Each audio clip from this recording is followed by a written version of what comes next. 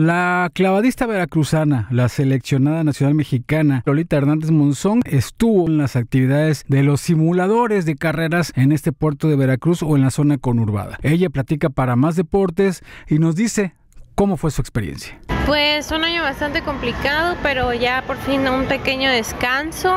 Y qué mejor que venirlo a aprovechar aquí a mi casa, Veracruz, y pues como ahorita estoy en el mundo del gaming, del Twitch, pues vengo a aprovechar estos simuladores que se ven bastante interesantes.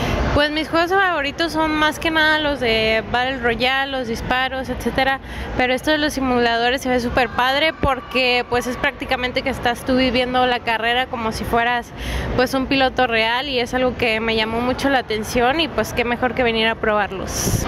Pues ahorita este año te digo estuvo un poco complicado con las competencias. Claro, pues ese es el objetivo de, de todo este trabajo y pues para eso estoy trabajando y espero que sí se logre ese objetivo. Eh, pues sí, ahorita la verdad hay mucha competencia dentro de México, eh, tanto los hombres como las mujeres, y pues está yendo que hay mucho nivel ahorita, igual a nivel internacional, pues los mexicanos sí han sacado eh, pues buenos resultados y se ve que va subiendo mucho el nivel de clavados en México para, para ir con una buena selección a París. Ahí están las palabras de Lolita Hernández Monzón, quien sigue trabajando fuerte para conseguir su boleto para los Juegos Olímpicos de París 2024. Obviamente estuvo el fin de semana aquí en el puerto pasando las fechas de fin de año con su familia. Reportó para más deportes Julio Mora.